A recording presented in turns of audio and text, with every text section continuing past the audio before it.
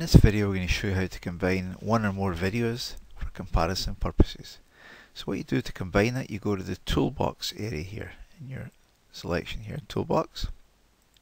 I select this Timer Pro Utilities and then it says browse video time studies.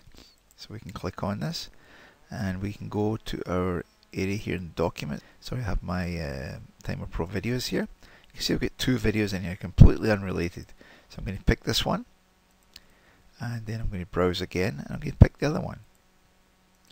So you can see I've got my two videos here and now I'm going to merge these video time studies.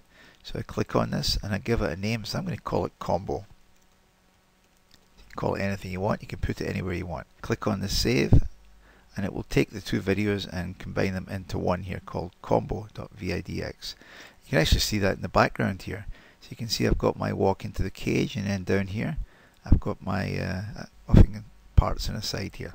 So I can click on these ones and you can see the guys working here or you come down here and you can see it here. So then you want to go to the comparison area, you can go to the comparison. I would recommend that you probably sort by activity by time because the same activities being performed by different people.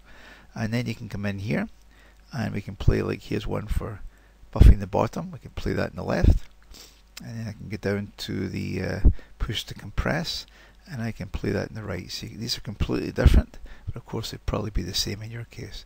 Then you can rewind them both and then play them both.